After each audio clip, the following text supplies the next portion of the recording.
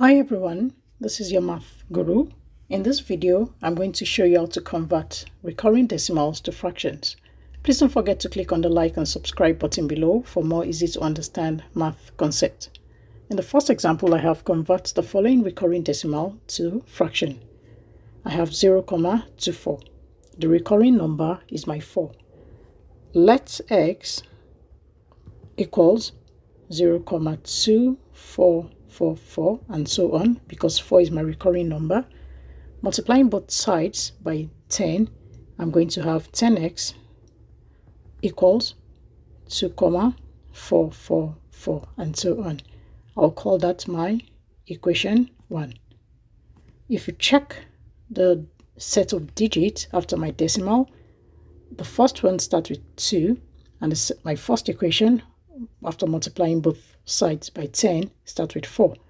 I'm going to multiply the first equation by 100 in order to make my set of digits after my decimal point the same. That will make it easy for me to subtract or simplify.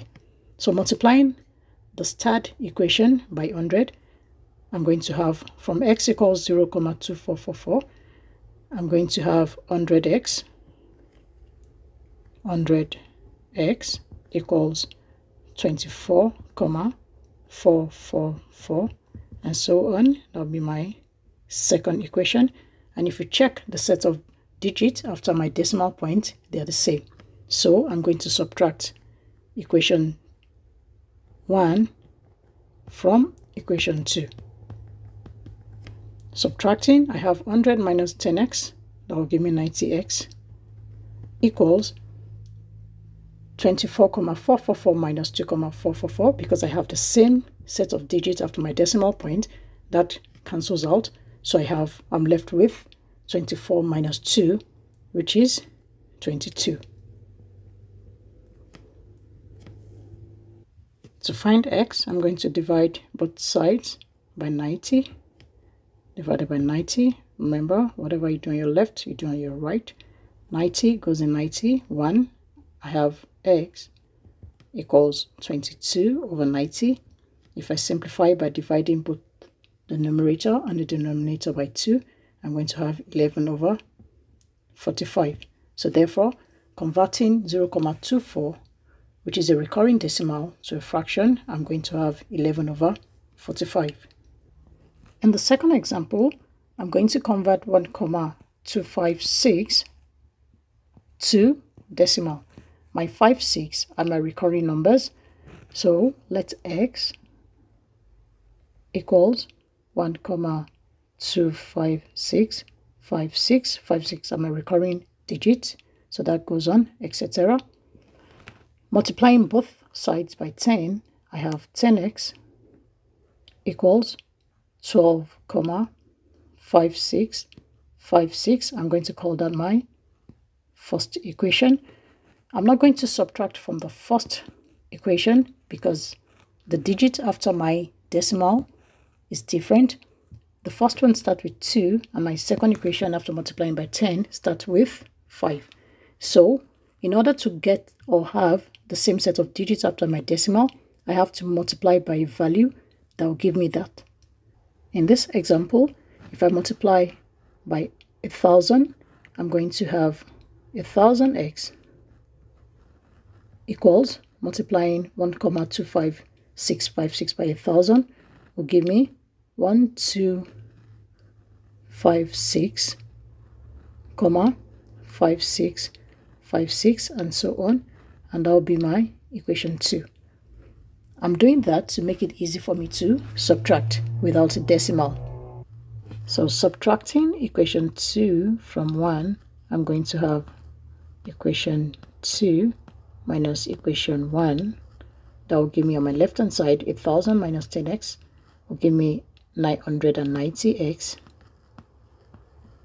equals on my right hand side I have 1256 comma 5656 etc minus 12 comma 5656 because I have the same set of digits after my decimal point that cancels. So I'm left with 1256 minus 12 which will give me 12 double four is a thousand two hundred and forty four To find x, I'm going to divide both sides by 990. That's cancelled. I'm left with x equals 1244 over 990 and simplifying by dividing both the numerator and the denominator by 2 I'm going to have 622 over 495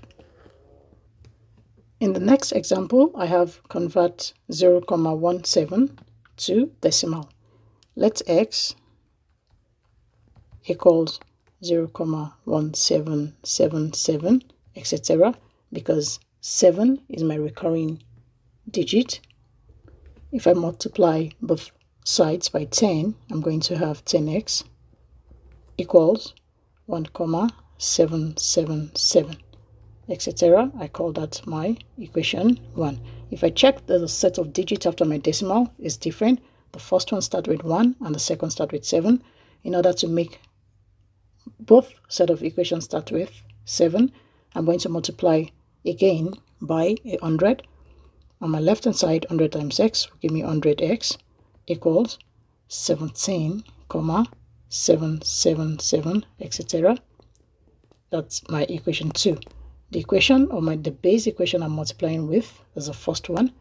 So therefore i'm going to subtract equation 1 from equation 2 that will give me 100 on my left hand side 100x minus 10x that's 90x equals because I have the same set of numbers after my digital or after my comma then that drops off. So I have 17 minus 1 which is 16 dividing both sides by 90 in order to find x this cancels. Therefore my x equals 16 over 90 and if I divide or simplify I'm going to have 8 over 45 in my last example I have 0 0.45 as my re recurring decimal converting to fraction I have let x equals 0 0.4545 and so on.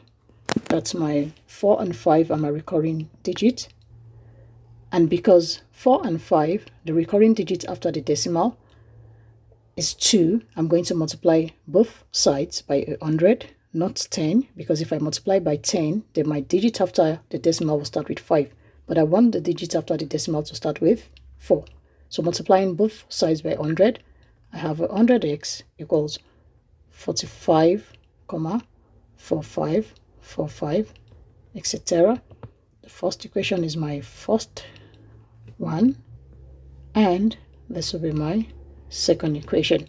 So subtracting equation 1 from equation 2 on my left hand side I have 100x minus x. That will give me 99x equals because I have the same set of digits after my decimal that drops off. So I have 45 minus 0 which is 45 and to find x I'm going to divide both sides by 99 99 divided by 99 that's 1 I'm left with x equals 45 over 99 if I simplify by dividing by 3 I'm going to have x equals 15 over 33 therefore converting 0 0.45 a recurring decimal to fraction I'm going to have 15 over 33 thanks for watching. Bye